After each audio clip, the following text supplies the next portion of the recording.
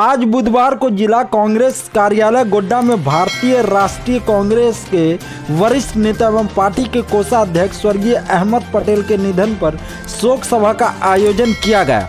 इस अवसर पर पार्टी के झंडे को झुकाया गया। शोक सभा में उपस्थित पार्टी के कार्यकर्ता के द्वारा स्वर्गीय अहमद पटेल के द्वारा पार्टी में उनके योगदान को याद किया गया। कार्यक्रम में की अध्यक्षता जिला अध्यक्ष दिनेश यादव के द्वारा किया गया।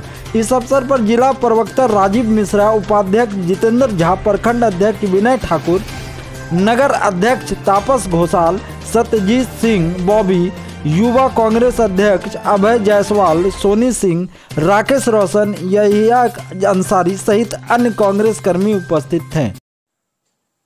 आदरणीय कांग्रेस के वरिष्ठ नेता और राष्ट्रीय कोषाध्यक्ष सह राज्यसभा सांसद आदरणीय अहमद पटेल जी के आकस्मिक निधन पर गोड्डा जिला कांग्रेस कमेटी के द्वारा गहरा शोक व्यक्त किया गया।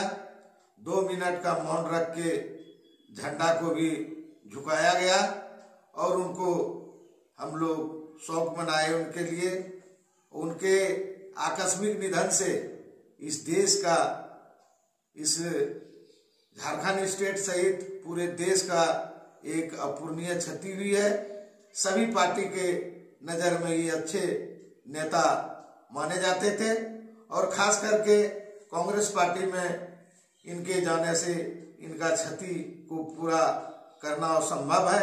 इनके निधन पर गहरा शोक व्यक्त करते हुए भगवान से प्रार्थना करते हैं।